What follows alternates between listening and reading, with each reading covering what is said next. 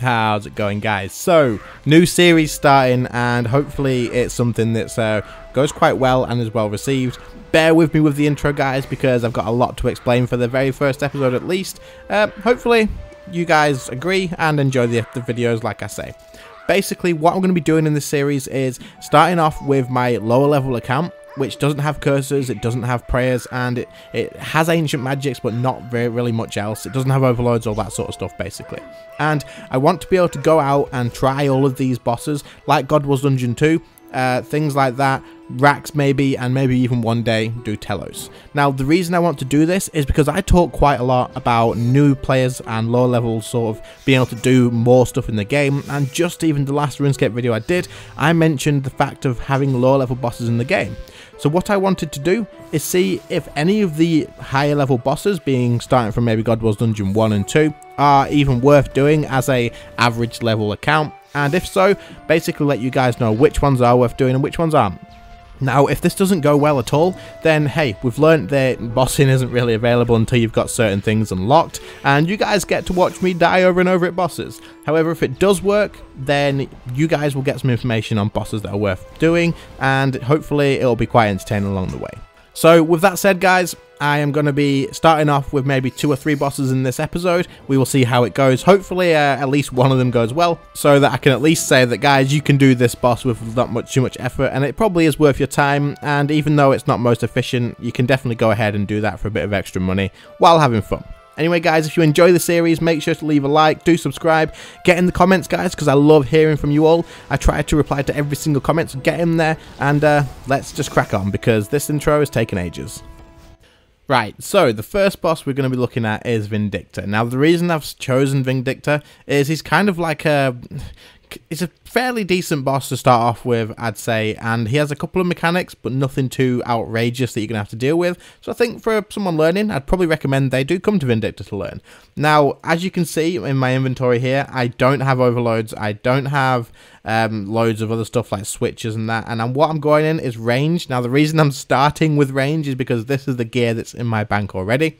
And also, my highest level is ranged at 90. And while he doesn't have any weaknesses, I believe ranged is something that people don't really use at Vindicta. I'm not sure if there's a reason why. And to be honest, I'm not going to do a ton of research into this because people who are a low level aren't going to be massively experienced. I'm just going to go in there, give it a go, and see how it goes. And then sort of do some revision afterwards possibly to see if I can make it possible and then give you guys an idea on that. Now let's not waste more time. I just remembered I need to buy a shield. Not buy a shield, I need to get a shield um, which I should have one in here somewhere. We'll just use the ranged one there. Uh, and then we'll head off because we're going to need the defensives for sure. We're going to that that res from his thing is going to be incredibly useful. Um, we do have a book. I believe we've got charges on that. We can't even do that yet. So as you can see, this is basically going off someone who's low level. Let's go in, see how it goes, and uh, the first couple of kills might be a bit rusty, but we'll we'll just see how it goes. You never know; it might go well. We do have an aura as well, so let's get that on. Uh, we've got the sharpshooter one, but we also have vampirism, so we'll see which one's best to use, and we'll just stick with the re the regular one hour. And let's uh, see how this goes, see if we can get any kills. So we're probably just going to camp the melee protect, because that makes sense to me. Uh, we don't have death swift, so let's just throw out all of our thresholds. Like, there's no point in uh, holding them. So, so far we've not had to eat too much yet. I'm hoping we can get to the bit where we can get a res without using too much food, because at that point, I'm hoping that we'll probably take enough damage on the ranged hit that we can res back to full health pretty much every time. And it doesn't matter too much about the kill times as long as it doesn't take all day. Like the main thing is that we can get kills, um, it's fun to do and it's better to do this than just AFKing at the Grand Exchange and making money that way. And if you get this boss down, there's a chance of that 45 mil drop at the moment.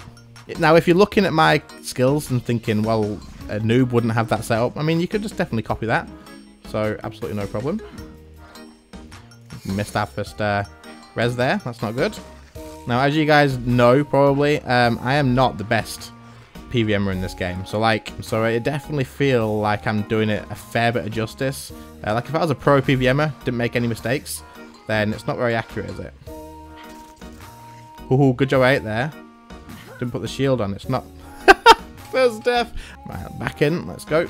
Let's not waste any time. See, I feel like it was quite easy. I just need to not mess up. Ah, oh, the res! Revolution is going to screw me over a million times. We would have got that kill if it wasn't for Revolution. Again, uh, Revolution screwing it up there. Right, I'm going to come back with full manual because this isn't working. So basically what was happening was I was on Revolution and I'm just not really all that experienced with it anymore. Obviously I used to use this as a lower level player back in the day but I stopped doing that back at Telos because it was doing things like interrupting uh, by using an ability before resonance was ready so like it's about a split second before it's ready using the ability and then it's got global cooldown until I can use it but I changed the full manual just to check if this would work. Obviously, if you guys have a bit more experience with Revolution, this would absolutely be possible. People do tell us on Revolution, so don't worry about that too much. And it turned out this went pretty well. I managed to do a couple of trips where I got three kills per trip, and then I did a trip where I got four in one trip as well. Now, I'd say that it's more realistic to expect to get about three kills per trip.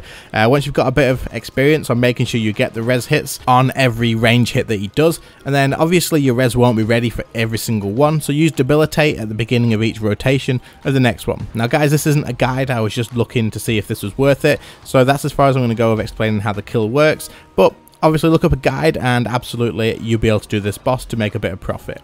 Now, what happened was I did about 3 kills in about 10 to 12 minutes, and so we'll just round that up to 15, and looking at it, I got about 400k per trip, that's really, really good, and that takes us up to around about 1.8 mil to 2 mil per hour. With the Lance drop, you're going to be able to put that up a hell of a lot more because it's currently about 45 mil, so that is incredibly good, and just it just gives you a better way than selling at the Grand Exchange to go and make some money. So boss number one, Vindicta, absolutely you can do this boss on no curses, no overloads, and probably just about 90 on any combat style.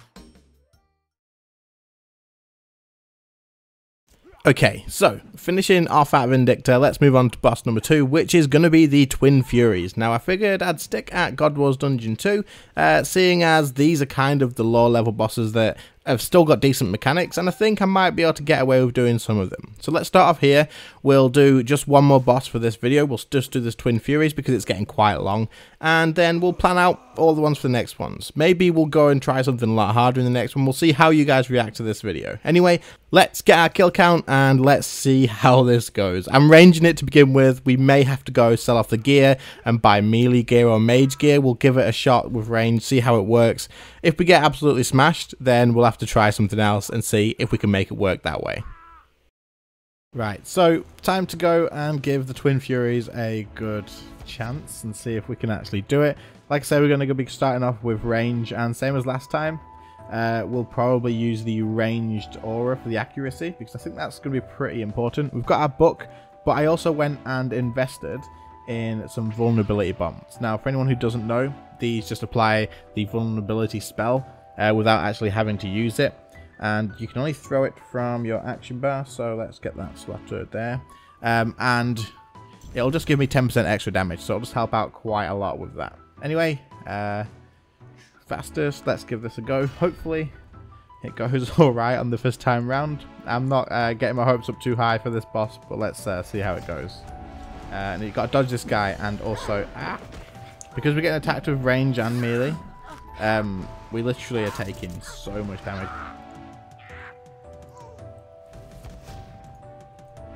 Then as long as you move to the side for that, then you're good to go without taking any damage. We might have to try this with uh, Vampora for sure. So we're halfway through. We might, Maybe we can get one kill per trip. Get rapid fire before we have to surge away. And move. Just in time. Oh, we should be good. Come on. There we go. So we did get 65k. Um, we've got the sigil piece, so that's quite useful if we do ever try to do Telos. Um, but that was a lot of food. Like we've used that full inventory of food. I think we've made profit because it was just sharks. But like that, I think after you've used things like your book, um, paying for weapon repairs and that, that might not be worth it. After giving the Twin Furies a pretty decent attempt, I came to the decision that this is not a boss that I would be able to do at a lower level. Without the DPS to be able to get the bosses down quick enough, and without like having Soul Split or anything like that to be able to keep my health up, or just having better defensive gear, then it just, it's, I was losing too much health and I couldn't kill the boss quick enough to be able to get the fights over before I run out of food.